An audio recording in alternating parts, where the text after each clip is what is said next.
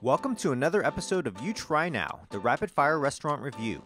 To celebrate the movie Chef being released on Netflix streaming, we're trying Cuban sandwiches from across the country. Up first is Ciano's in Campbell, California. For an appetizer, we tried the chopped salad. The cornbread for croutons was a nice touch, but it was otherwise nothing special. Their Cuban sandwich, El Jefe Torta, included a fried egg, which was slimy goodness. The bacon was crispy and not overpowering. Unfortunately, the black bean spread left an unpleasant aftertaste, but adding the jalapeno on the side improved all of the other flavors. So, should you try now? Despite the salad and bean spread, yes.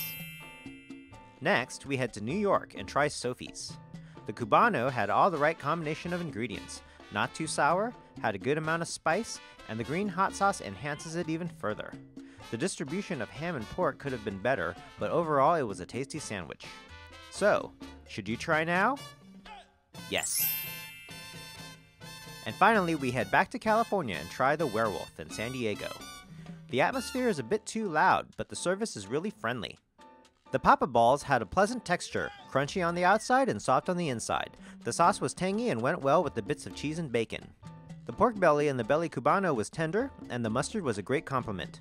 The cheese was perfectly melted, but the pickles were too strong and dominated the sandwich. As soon as we removed some of the pickles, it was much better.